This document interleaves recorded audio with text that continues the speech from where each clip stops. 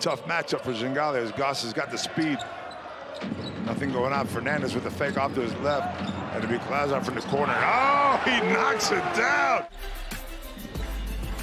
Rudy Fernandez kicking to the corner, and there's two points as CSKA gets themselves within 10.